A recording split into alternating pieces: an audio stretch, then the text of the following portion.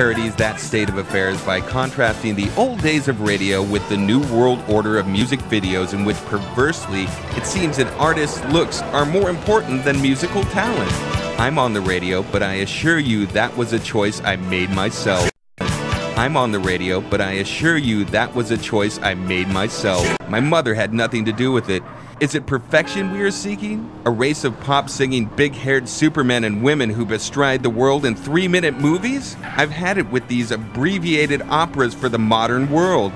Is it a good or a bad thing? Will the fat lady sing? You must decide that for yourself.